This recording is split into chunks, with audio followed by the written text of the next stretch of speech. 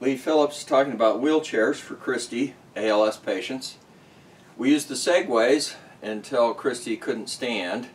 And in between that time, she'd stand and she'd sit, and we'd uh, use it at different places. But we bought one of these cheap transports. They're only about a $100, and they have the legs that uh, go on them.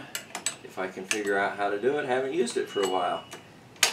And so you can put the person in the wheelchair, put their feet down, and pull it apart, and they can sit in it and go pretty good. It's just a cheap wheelchair, but it worked very well. It's a transport, has to be pushed, but an ALS patient can't roll their own wheelchair like somebody who's just lost the use of their legs and still has good use of their upper body. So we used this for a while and we would transport her in it. It fits easily into the car and like I say it's a hundred bucks it's not a big deal. We'd take it on the airplane with us and the airplane is professional at breaking the arms off. They will buy you new arms when they break them off. Want to ask me how I know?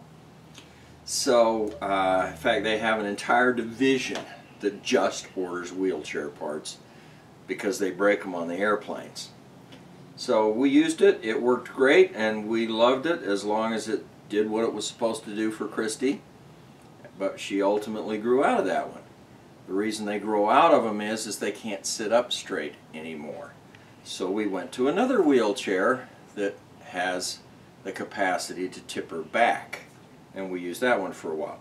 I'll show you that one in a minute. This is Lee Phillips talking about the succession of wheelchairs that Christy got.